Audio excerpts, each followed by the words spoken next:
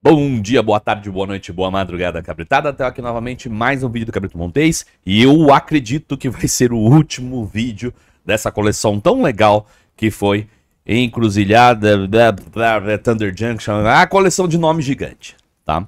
Coleção muito bacana, com lore legal, com vários aspectos muito bacanas, decks legais, temáticas diferentes e tudo o que a gente esperava de uma boa coleção. E olha, depois do meio que.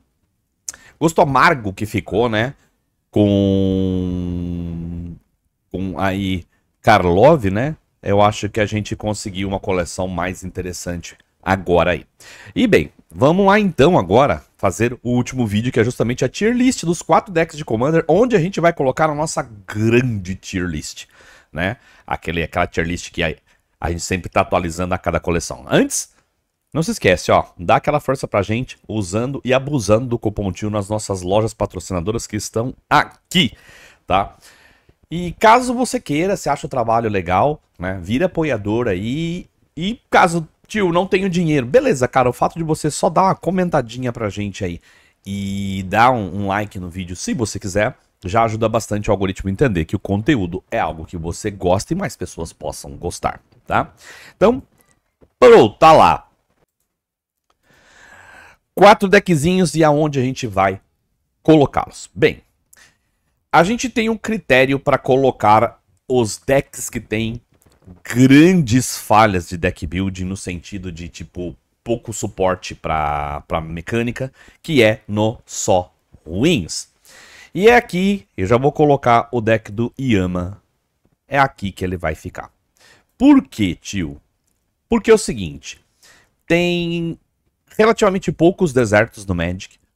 Eles são relativamente ruins por entrar virados, tal, tem uma temática não tão legal e tem muito pouco suporte para mecânica, ou seja, um deck que você tem de desertos, ele vai ficar resumido a deck de deserto e basicamente a mesma, a, a, mesma configuração do deck vai ser repetida entre todos eles com poucas diferenças. Ah, tio, mas se eu quiser então fazer o Yama com outro tipo de terreno, pode? Pode. Você vai estar desperdiçando o potencial desértico dele, né? Mas pode perceber que é o mesmo motivo que é, é, é Fallout tá aqui, é o mesmo motivo que os decks de, de, de Disguise estão aqui, né? Então, tipo, tem um, um motivo para esses decks estarem aqui. É triste, mas enfim, né? É o lugar dele. Vamos pro próximo deck, que é o deck do Gonte. O deck do Gonte, ele estaria, ele estaria em deck forte, tá? Ele estaria talvez por aqui assim, ó, um pouco à frente da Salgueirumbra, por aqui assim, tá? Talvez até um pouquinho mais, até aqui mais ou menos assim, ó, dos Tiranidos. Só que por que, que ele não vai ficar aqui? Porque ele tem um problema muito sério, que é a jogabilidade dele nas plataformas digitais, Spelltable, Discord, seja lá o que você for jogar em plataforma digital. Eu sei que teve um monte de gente que falou assim, ai tio, mas tem gente que joga no Spelltable ainda assim, tem bastante gente que joga no Spelltable, por exemplo, praticamente todo o meu playgroup, né, da galera do Cabrito Montês, joga via Spelltable, e Spelltable é uma ferramenta que faz com que você continue jogando Commander em qualquer distância. Então, isso faz ele cair nessa classificação aqui, ó. Precisa de muito ajuste. Eu vou deixar ele no topo do muito ajuste justamente por isso, tá? Se você quiser fazer que seja um deck que não incomode muito, você vai ter que fazer uns ajustes aí, provavelmente trocando o comandante pelo Félix e aí sim dando uma outra temática, tá? Mesmo assim, lembre-se, a gente não faz esse vídeo pensando em power level, tá? Mesmo assim, se você quiser adquirir esse deck, o deck é muito bom, tá? Mas lembre-se que ele precisa de muito ajuste para ficar agradável se você for jogar online. Caso contrário, só vai se divirta, ele vai estar tá lá em cima. Vamos pro próximo deck agora, que é o deck, eu vou deixar o deck da Olivia por último, é o deck da Estela. O deck da Estela é um Spell Slinger muito forte, mas ele é um pouco mais do mesmo. Entretanto, ele é muito comparável ao deck do Zafai, eu colocaria ele aqui, nos fortes, porque ele a, a própria Estela comba com uma facilidade grande né? Não tem o combo no, no, no, no, deck, mas é fácil você dar upgrade. É um deck que ele é forte, ele gera snowballs, tá? Ele é muito parecido com o deck do Zafai. É um pouco inferior, mas pode colocar ele aqui nos decks fortes, ok? Decks legais e fortes. Aí, nós vamos pro último deck. Nós vamos pro último deck, que é o deck da nossa digníssima vampirona fofa aí, Olivia.